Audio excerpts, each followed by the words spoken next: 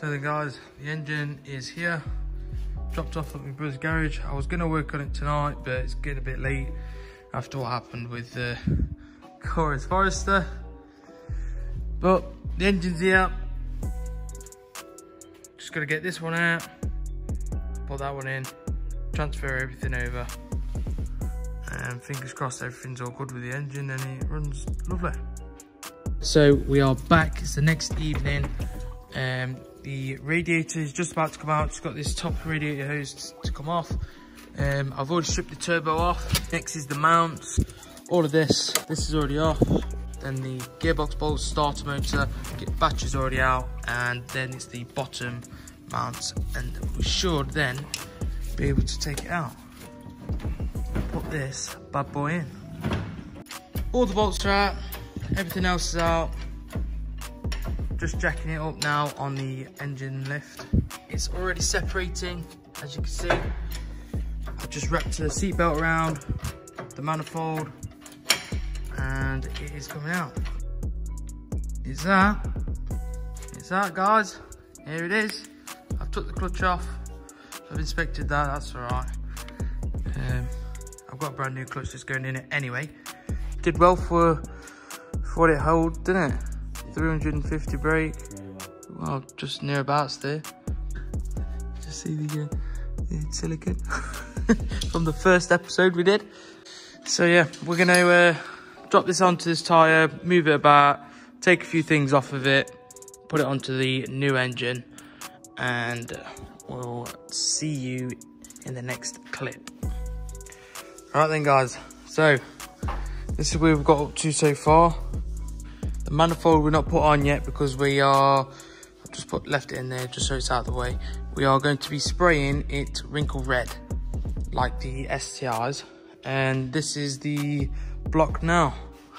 Completely bare, just got the up pipe on. Unfortunately, we've uh, broken the, uh, the lambda sensor on the way out. Brand new one as well, but oh well, shit happens. Okay then guys, so as you can see, I'm at home. Just finished doing the uh, wrinkle red on the, inlet manifold. It all come out quite nice, except for this area here. If you can see, it's up here. A few splodges that didn't cover very well, so I kept going over them. And it wrinkled quite a bit more than the rest. But I think it turned out quite well. First time I've ever done it, so I'm quite uh, happy with it. Worst comes to worst, just take take this bit off and redo it, but I think it'll be a lot of hassle if I did that, so I'm just gonna leave it as it is. And if any of you were wondering what I used, I used this, this brand here, VHT Wrinkle Plus. And then I just literally used the hairdryer to help it crinkle. So the guy just back at the uh, garage, I've been to RCM and bought a kit for the TGV deletes. So I'm just bolting it up to my manifold now. And um, you get all your hardware and things like that. I also, I got the wrong pipe, so I swapped out the pipe, some new spark plugs and a turbo fitting kit. Um, I'll try and get everything all together just to show you and explain what I've got, but I'm just gonna quickly build these up just so then it's like a one one piece unit so I haven't got to have bits everywhere. Okay then guys so fully built engine. I've sprayed this shown you this already. Lightened uh, crank pulley. A lot of things have already been bolted down. This I need to put the uh, gaskets on and things like that. Here's a turbo stock location precision. That's the fuel pump Fuji 3 340 liters per hour um, that's the TGVs that I've just put on to the manifold. A lightened flywheel and clutch kit. And equal length manifold with the up pipe to go with it. 850cc injectors. This is a wideband just to make sure we know all the to fuel ratio is good. This one I've just picked up today is the uh, inlet pipe for turbo, new plugs, turbo fitting kit, and in here we have the um, RCM parallel fuel rails and a few other bits and bobs.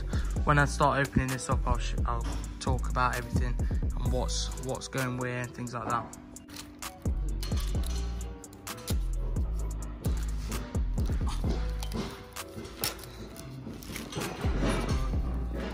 crop top.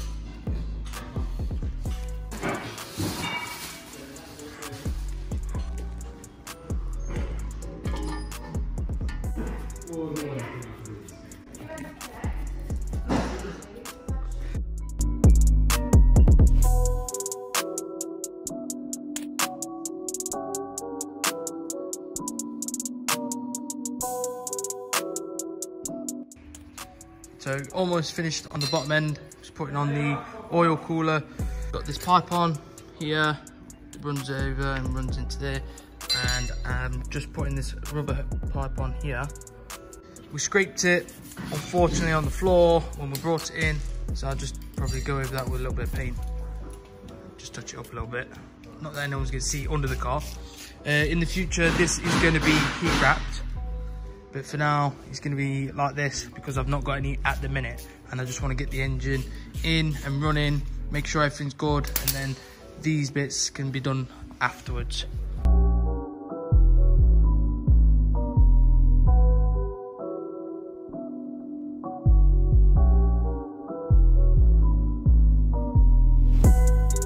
So then guys, here is everything for the fuel inside.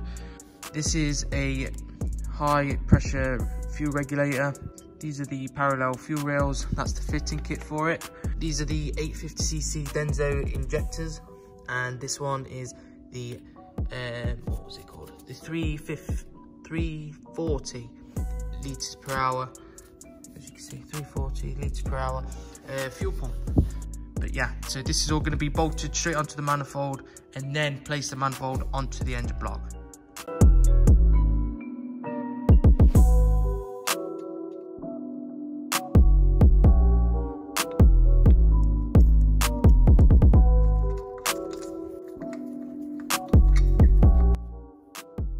First side down. All I did was put these two injectors in. Uh, there's a bracket that sits under here. You have to bolt that to the fuel rail first and then as you've seen in the last clip just bolt in these two here and that should keep the pressure so it doesn't leak. So fuel rails are all in, fuel lines are all in, the regulator is in as well. Just need to find somewhere to uh, put that. Just got the inlet manifold mounted onto the engine. Just put this bracket back on for the alternator. And so far it's starting to look more of an engine. it's all on the lift, engine lift. Everything's all bolted in. Uh, what a pain the uh, fuel lines have been. Anyway, we've jacked up the gearbox and, and uh, the engine. Soon, soon as we put the engine in, we'll have to probably move this up and down.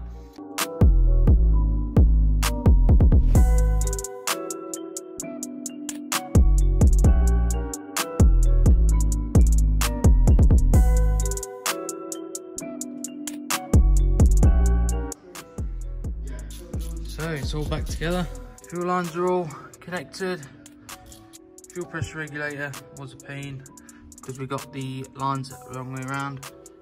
When we turn the ignition on, we do get fuel pressure now, and we've checked if we're no leaks, but we won't know until we turn it over. But we can't turn it over yet because we've not got the uh, mineral oil for the engine. Which... oh, I dropped the oil in then. Yeah. Anyway, Miller's running in oil.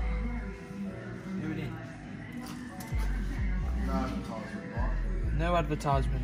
It's all free advertisement, that. Oil's all in it. Got to take off the crank sensor so we can prime the engine so it pumps oil around it before it starts up and uh, and uh, otherwise it might ruin the engine. So I'm going to pass the phone back to Cora and I'm going to try and start the car. Hopefully it's got enough battery. After waiting so long. Hmm.